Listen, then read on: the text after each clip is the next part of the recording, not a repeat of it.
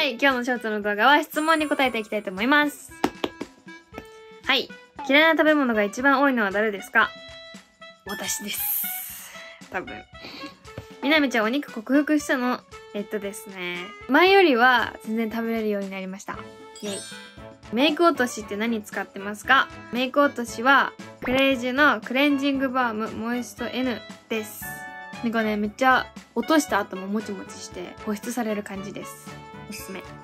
ラスト前のマスク紹介みたいな動画の中の100均のマスクの縁が嫌いだから切るみたいなやつの切り方教えてほしい。これは、このマスクですね。ちょっとここが飛び出てるんですよ。普通に本当にただここ出てるところを、こうやって切るだけです。ここ気になる方はやってみてください。はい、ということで今回も質問ありがとうございました。また次回も見てね。バイバーイ。